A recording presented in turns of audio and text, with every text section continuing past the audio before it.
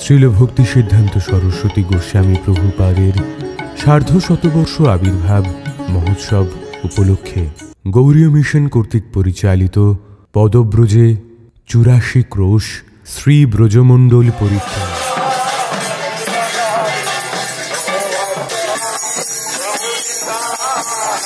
আজ শ্রী ব্রজমণ্ডল পরিক্রমার মঙ্গল অধিবাস দিবস।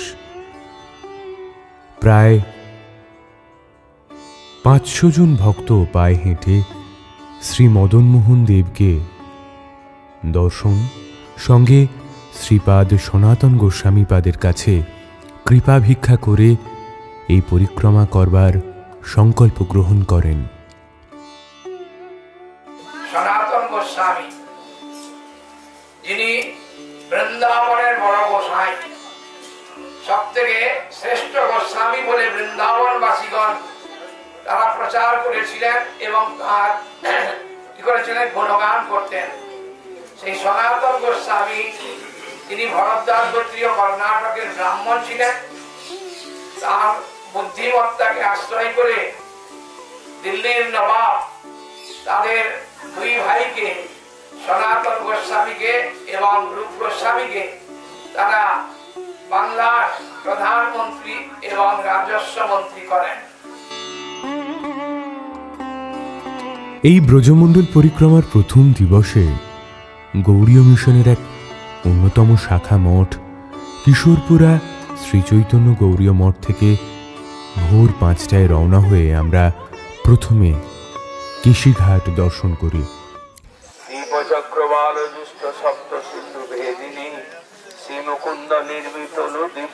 নিবেদিনী কান্তি কন্দলি নীল নিন্দিনী মাঙ্কুনাথ সর্বদা অরবিন্দ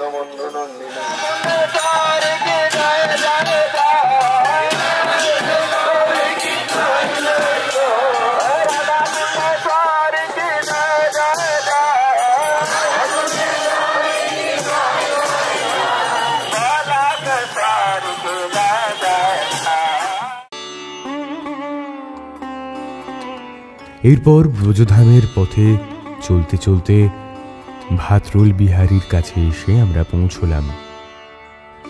ভাগবতে উল্লেখ আছে, এখানেই যজ্ঞ বিপ্রগণের পত্নী কৃষ্ণ, বলরাম এবং তাদের সখাগণকে ভোজন করিয়েছিলেন। এই স্থান অশোক বন নামেও পরিচিত।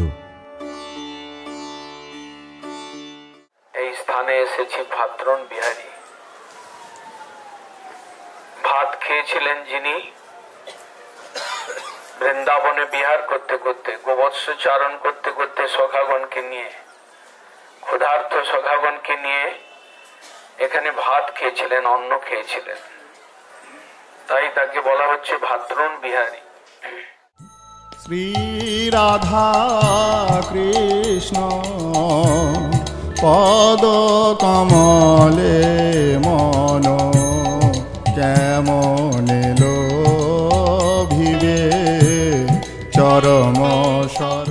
আবার পথ চলতে চলতে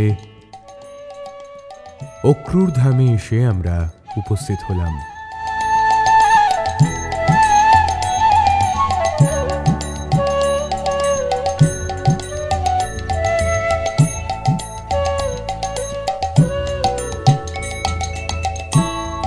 চিরদিন করিয়া আমরা ব্রজমণ্ডল পরিক্রমার অন্তর্ভুক্ত হয়ে অক্রুরের স্থানে এসেছি। এই সেই অক্রুর যাকে গোপীগণ কৃষ্ণ প্রীতির ব্রস হয়ে গালাগালি করেছিলেন যে তোমার নামটা ভুল দেওয়া হয়েছে। তোমার নামটা ক্রুর দেওয়া উচিত ছিল, কিন্তু অক্রু দেওয়া হয়েছে। এটা তোমার পিতামাতা ভুল করে দিয়েছেন। কারণ তুমি ক্রুর শিরোমণি। তুমি আমাদের প্রাণের ধনকে তুমি নিয়ে যাওয়ার জন্য, মথুরায় নিয়ে যাওয়ার জন্য এসেছ।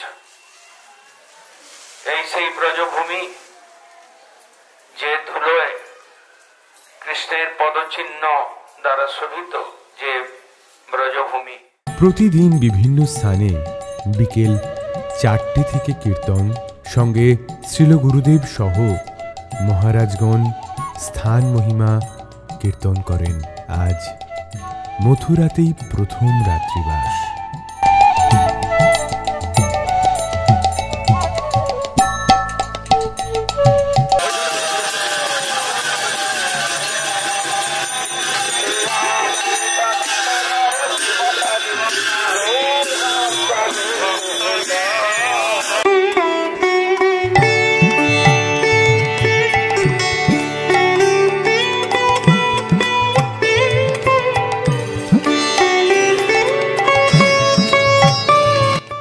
পরিক্রমার দ্বিতীয় দিবস। ভক্তগণ মথুরায় শ্রীকৃষ্ণের জন্মস্থানে আরতি দর্শন করেন।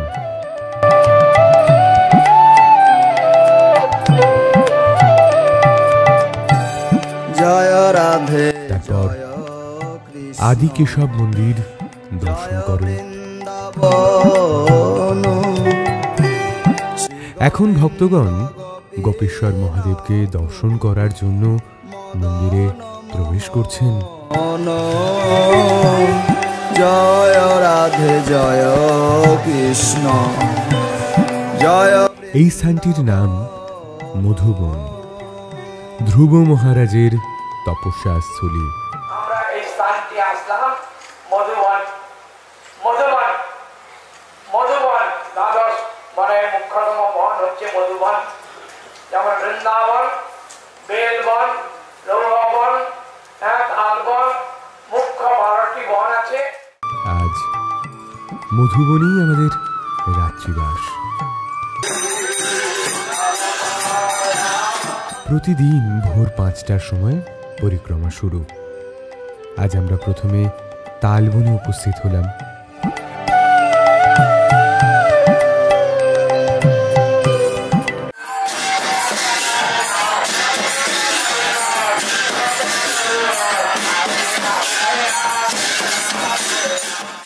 শ্যাম কুণ্ড, রাধা কুণ্ড।